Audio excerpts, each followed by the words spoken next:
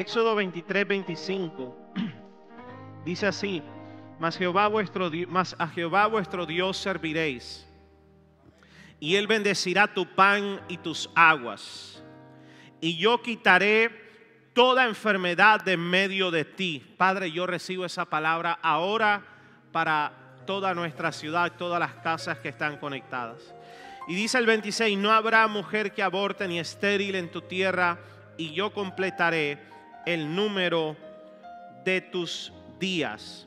La otra versión dice, adora al Señor tu Dios, Él bendecirá tu pan y tu agua, yo alejaré de ti la enfermedad. Alguien diga, Dios aleja la enfermedad de nosotros. Y haré que no mueras antes de tiempo, no habrá en, tu país ninguna mujer que aborte o que sea estéril. Amén y amén. Este, esta noche he titulado este mensaje corto, lo he titulado Dios se acuerda de bendecirte. Alguien levante la mano y diga, Dios se acuerda de bendecirme. No sé cuántos necesitan que Dios se acuerde, pero esta noche el mensaje para ti es, Dios se acuerda esta noche de bendecirte, de hacer un milagro, de traer una intervención sobrenatural. Éxodo 23 está hablando Dios del pueblo cuando estaba en Egipto, cuando estaba cautivo. Y le dice, voy a bendecir su pan y sus aguas. La bendición de Él significa que Él envía, Él envía su poder sobrenatural. ¿Qué es el poder de Dios? Pues Él envía su favor, Él envía su unción, Él envía sus ángeles, Él envía conexiones divinas, Él envía gracia, Él envía sanidad. ¿Para qué? Para sacarnos a prosperidad, para sacarnos de la aflicción y sacarnos a bendición, para traer aumento, para traer alegría y gozo. Eso es lo que Dios estaba diciendo. Éxodo 2, el versículo 23, complementa lo que acabamos de leer. Dice, aconteció que después de muchos días murió el rey de Egipto y los hijos de Israel gemían a causa de la servidumbre. Ellos estaban quejándose, ellos estaban diciéndole, Señor, no soportamos más esta esclavitud, estamos sufriendo. Dice, y clamaron, y subió a Dios el clamor de ellos con motivo de su servidumbre, y oyó Dios el gemido de ellos y se acordó. Alguien diga, alguien diga conmigo, Dios se acuerda, Dios se acuerda. Dice, se acordó de su pacto con Abraham, Isaac y Jacob. Y miró Dios a la iglesia Ami y los reconoció Dios. Entonces mire qué es lo que pasa.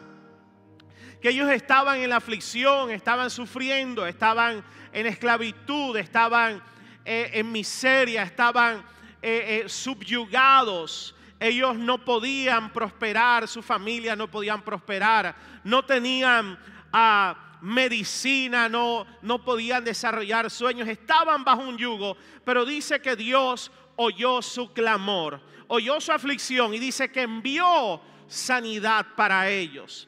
Yo le quiero hablar a, a, a, todos los que están viviendo una situación difícil hoy. Todos estamos bajo una situación difícil por lo que está pasando en Colombia, en Barranquilla.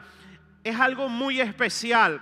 Pero escúchame, en medio de la aflicción, sea cual sea la que estemos viviendo, tenemos que entender que Dios está al tanto de ella. Dios sabe lo que estás pasando. Y además, Dios no se ha olvidado de nosotros. Dios no se ha olvidado de ti, ni de tu abuelo, ni de tu hijo, ni de tu padre, ni de tu situación económica, emocional. Y además Dios está viendo tu aflicción, está viendo tu necesidad y además Dios está presto para saciar, para quitar la angustia, para quitar la enfermedad, para quitar cualquier yugo que esté molestándonos. Dice que ellos estaban en servidumbre. Servidumbre significa esclavitud. Pero la esclavitud no es solo que no tienes libertad, no es estar preso detrás de unas rejas. La esclavitud espiritual es peor. Ellos estaban en esclavitud financiera, emocional. en sus casas los niños que nacían eran esclavos, sufrían, sembraban, pero nada era de ellos. No podían cosechar, no podían ser dueños, no, no podían tener paz. Estaban bajo zozobra todo el tiempo. En cualquier momento venían los egipcios para castigarlos, para quitarles alimento, para presionarlos. Pero escúchame esto, pero Dios se acordó de su pacto. Dios se acordó de su pacto. Hoy quiero decirle, con la ayuda de la batería y el piano que se van a meter en fuego a partir de ahora, gloria a Dios. Y los que están diciéndome amén por YouTube, porque no tengo a nadie aquí diciéndome amén, pero yo sé que tú estás diciendo amén. Escúchame, Dios todavía se acuerda de su promesa.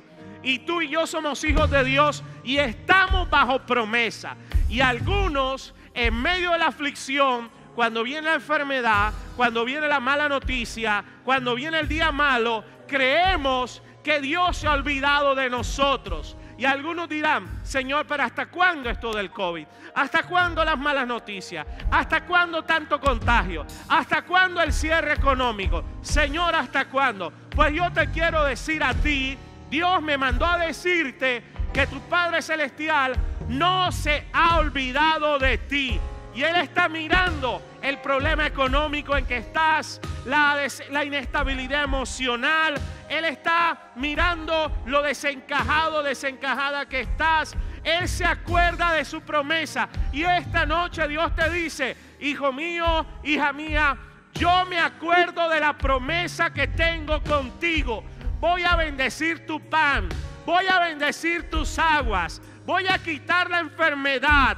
Voy a prosperarte, voy a darte largura de días, porque aunque parezca que la noche está oscura, tu Dios todavía puede traer la mañana de la alegría. Ahora si alguien deme un amén, un aplauso, algo ahí por Facebook, por YouTube, gloria a Dios, hay un pastor aquí que está aplaudiendo. Alguien diga, Él se acuerda, Él se acuerda. En medio de las situaciones difíciles, es muy fácil así rápido Creer que Dios se olvidó, creer que Dios no va a actuar, creer que es un castigo divino, crees que el diablo tiene el control. Yo te quiero decir algo, el diablo no tiene el control de nada. Dios tiene el control de tu vida y de tu familia. Alguien levante su mano y diga, Dios tiene el control de mi vida. Tómese una foto y taguela, por favor. Dice que Dios los miró, miró al pueblo. Dice, lo reconoció, o sea, lo identificó. Él dijo, estos son mis hijos, este es mi pueblo, estos son mis hijas. Estos son a los que yo le di la promesa. Una promesa que hice Abraham, Isaac y Jacob. Usted y yo en Cristo Jesús estamos bajo esa promesa. Números capítulo 1, 7 dice, Jehová el Señor es bueno. Alguien diga conmigo, el Señor es bueno fortalece en el día de la angustia y conoce a los que en Él confían. Entonces mira esto. Número uno, tenemos que saber que Dios se acuerda. Número dos, Dios está mirando quién confía en Él en medio de la angustia, del abatimiento, de las malas noticias. Puede venir las malas noticias que sean, pero Dios está reconociendo quién confía en Él todavía. Mira lo que dice el Salmo 78, versículo 36. Pero se lisonjeaban con su boca y con su lengua le mentían, pues sus corazones no eran rectos con él, ni estuvieron firmes en su pacto. Está hablando de los que se olvidan de Dios, que no son fieles a Dios. Pero él, misericordioso, perdonaba la maldad y no los destruía. Y apartó muchas veces su ira y no despertó todo su enojo 39, se acordó que eran carne, soplo que ya no vuelve. Mire, mis amados, Dios es tan fiel que a pesar de que muchos eran infieles, han sido infieles, se han apartado, su misericordia está por encima de nuestra infidelidad. Y aquí habla de un pueblo que fue desagradecido, pero que Él se acordó de ellos, solo son polvo voy a tener misericordia. Pues esta noche he venido a decirte que la misericordia de Dios es demasiado grande y que Dios sabe lo que estás pasando, sabe que eres imperfecto, sabe que en algunas cosas has sido infiel, pero a pesar que somos infieles, Él sigue siendo fiel. Y escúchame esto, por su misericordia estamos vivos, por su misericordia Él nos sana, por su misericordia Él nos libera. Alguien, diga, yo recibo esa palabra. Por su misericordia Él no ha destruido Barranquilla o la ciudad donde estás. Por su misericordia Él nos levantará. Por su misericordia Él nos sacará en victoria de esta pandemia. Por su misericordia Él restaurará el corazón de los que han sufrido, de los que han perdido familiares. Por su misericordia Él nos prosperará aún en medio de esta aflicción. Dígame amén alguien, por favor. Es su misericordia. Dios se acuerda. Dios mira quién confía en Él. Pero su misericordia está por encima de todo. Y diga, hoy recibo, hoy recibo misericordia. El Salmo 136, 23 dice, Él es el que en nuestro abatimiento se acordó de nosotros. Porque para siempre es su misericordia. Y nos rescató de nuestros enemigos. Porque para siempre es su misericordia. Y escúchame esto, número cuatro necesitamos tener en cuenta que esto es una guerra, estamos en una guerra espiritual. No importa el nivel espiritual en que estés o de fe, seas nuevo o seas viejo en la iglesia, no importa, sea joven, no importa. Esto es una guerra espiritual. ¿Y qué va a pasar? Que el padre de mentira, Satanás, va a venir a mentir, va a venir a decirte, en medio de la aflicción Dios se olvidó de ti, ¿para qué has servido? Mira si tú has diezmado, si tú oras, si tú sirves tanto que has confiado, ahora que te metiste a la iglesia y mira lo que te está pasando. Pero eso quiero decirte, Él no es fiel. Mira ese familiar contagiado, mira que están muriendo tanta gente. ¿Por qué Dios permite esto? Todas esas mentiras. ¿Para qué? Porque Él aprovecha la situación. Él quiere sacar provecho. Él pesca en río revuelto.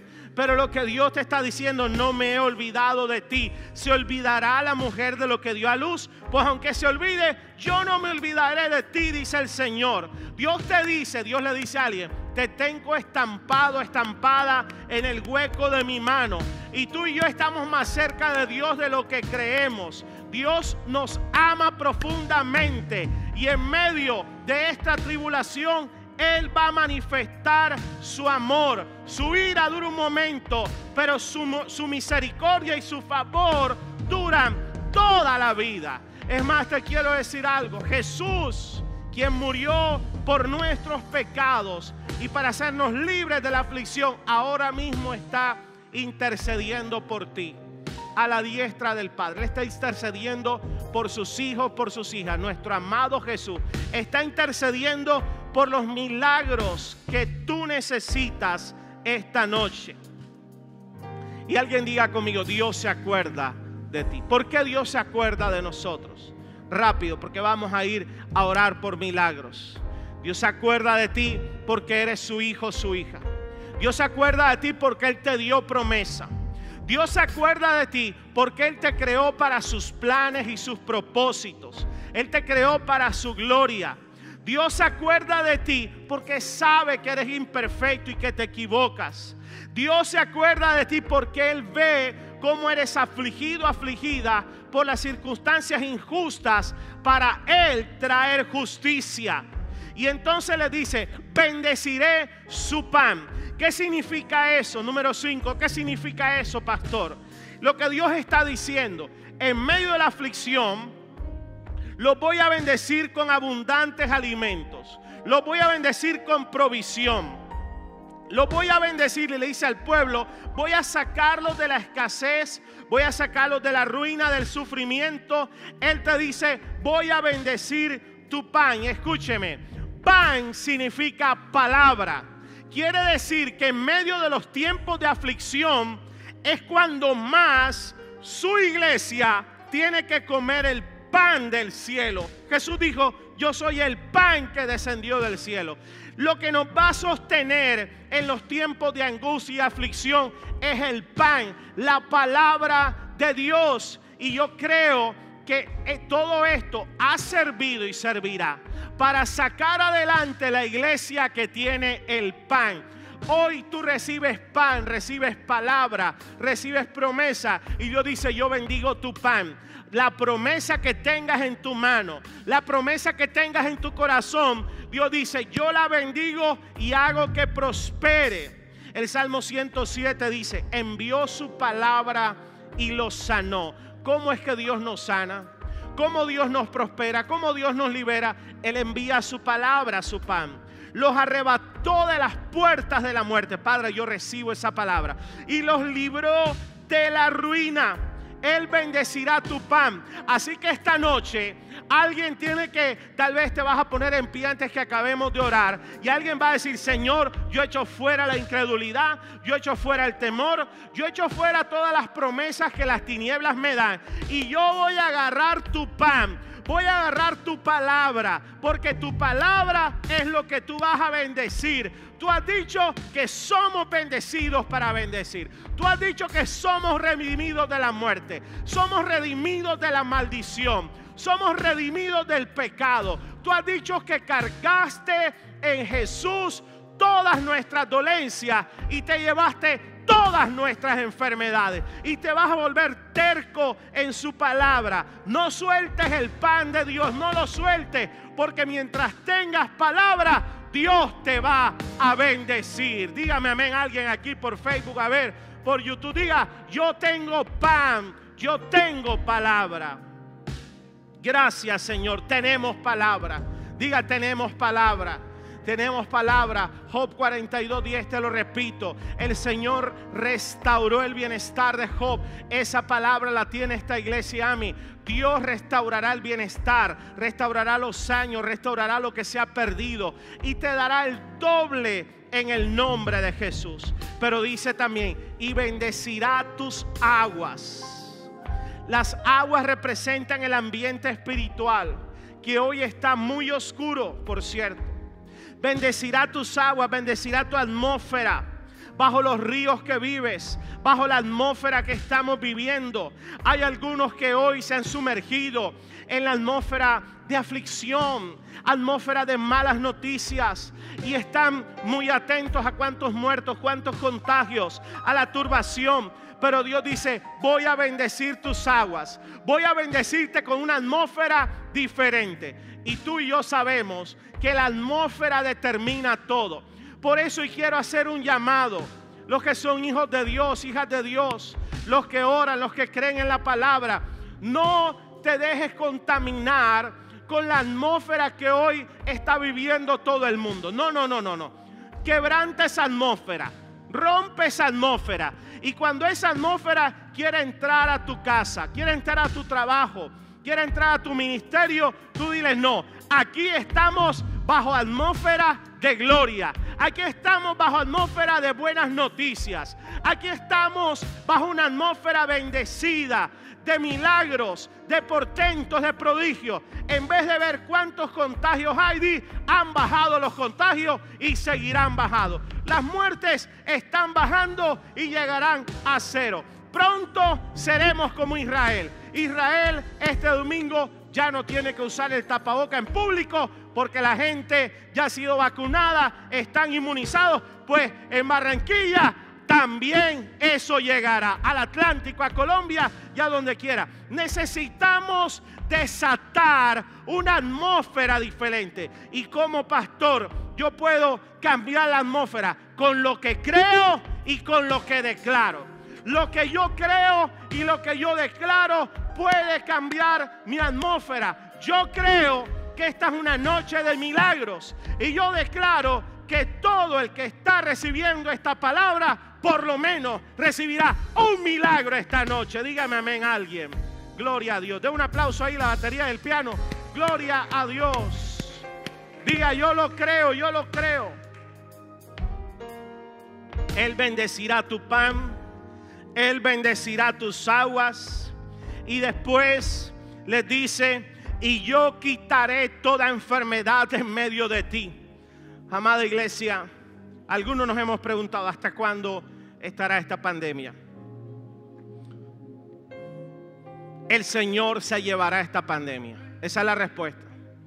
El Señor puede soplar y en un segundo llevarse toda enfermedad, porque Él dice, yo quitaré toda enfermedad de ti, te protegeré de toda enfermedad. Dios promete sanidad física, Dios promete sanidad del alma, sanidad emocional, sanidad de la mente. Es el Señor el que sana, pero yo tengo que creer que Él sana todavía, porque haya gente muriendo, eso no quita la virtud del Dios sanador porque haya gente que se contagie y se coloque grave, eso no quita que Dios todavía puede protegerte sobrenaturalmente. Y le dice, y no habrá estéril, no habrá mujer que aborte, no habrá estéril. Y, y la mujer habla de la iglesia, por supuesto habla de una capacidad física de las que están embarazadas que no van a abortar, pero habla de la iglesia.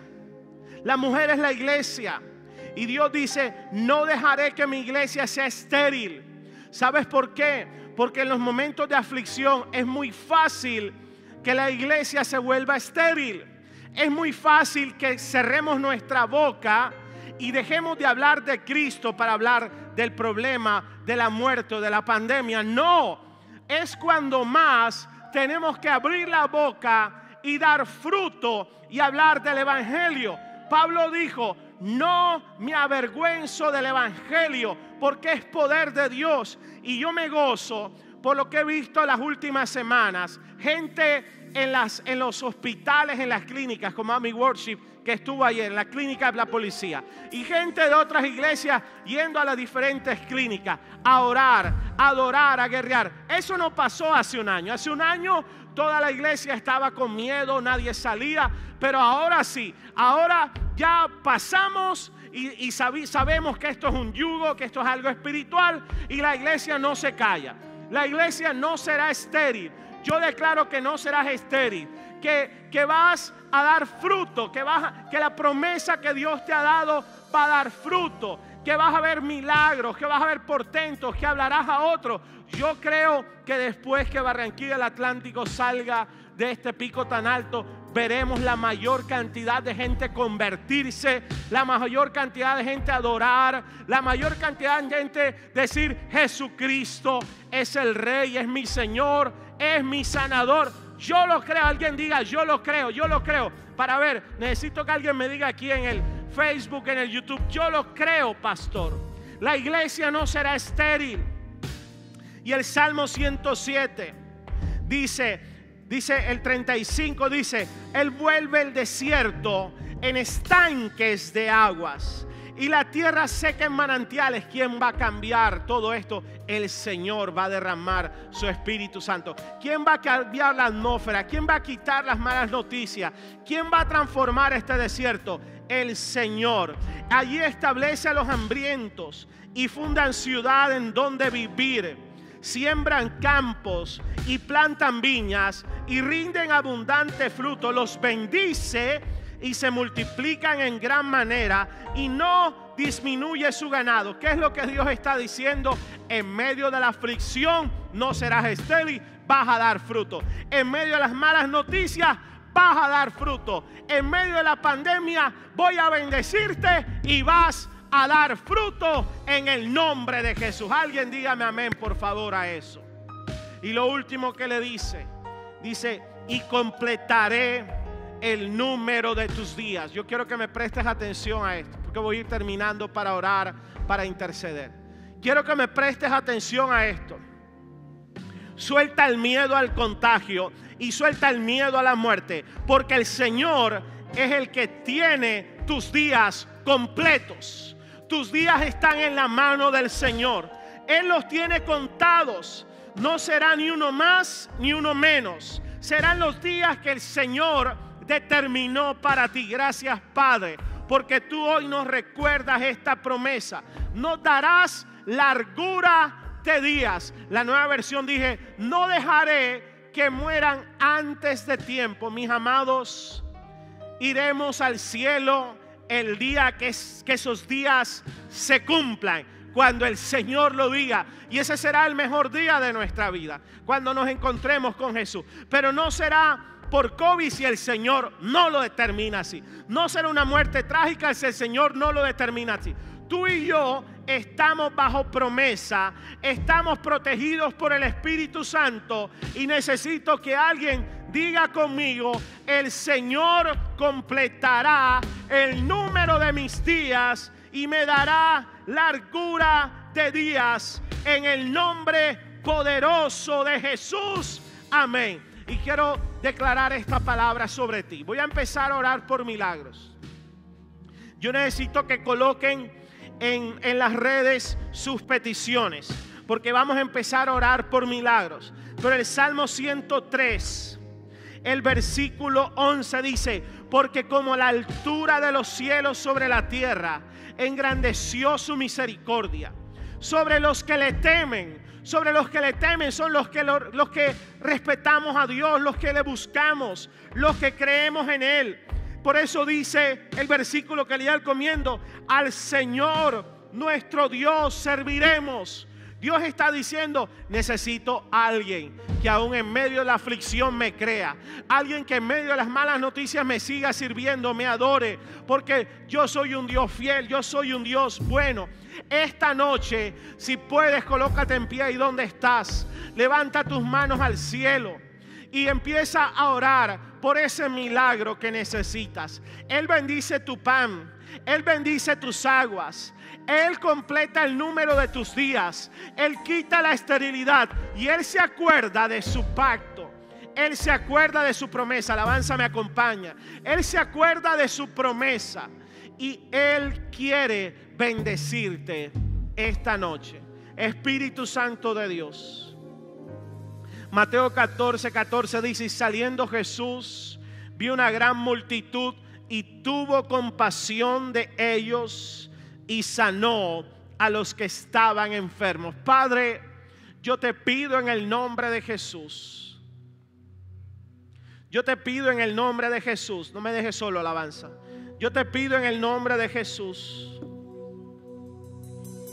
que tú traigas sanidad para todo el enfermo que tú traigas sanidad física, que tú traigas sanidad del alma, que tú traigas sanidad al espíritu.